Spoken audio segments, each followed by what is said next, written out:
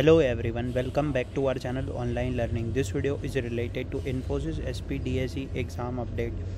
As we know that your examination is scheduled on tomorrow 13th July, but many of the candidates did not receive any kind of exam mail.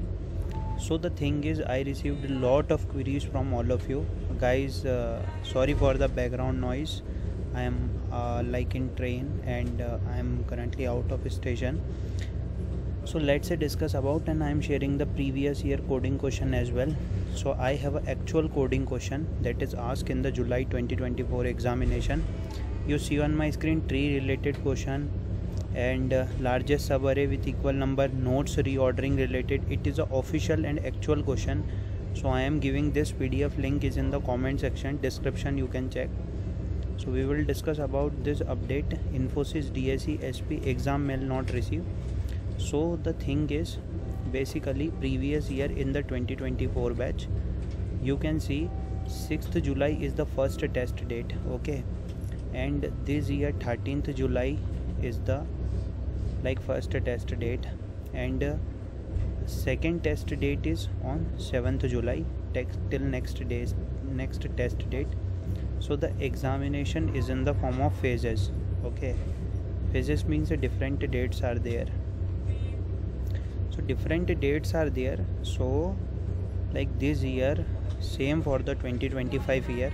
The hiring is for the sp and dse 24 25 batch. Okay. So we have to wait because we can expect the next phase of examination in the upcoming days or in the upcoming weeks. Okay so we have to wait till at least like uh, tomorrow is 13 so we have to wait till next week. What is the next week date? Next uh, week date is 20th july. Okay? Next date is 20 july so we have to wait for that.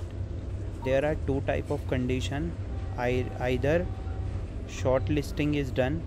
Okay shortlisting is done or they will send the test mail in the form of phases. Phases means different dates are there. So this is the update that is related to infosys spdse i that i want to share. So if you have any kind of doubt let me know in the comment section and solve all the previous year question that uh, i shared. Okay and uh, go to LeetCode where you will find all the questions that is related to problems lead code.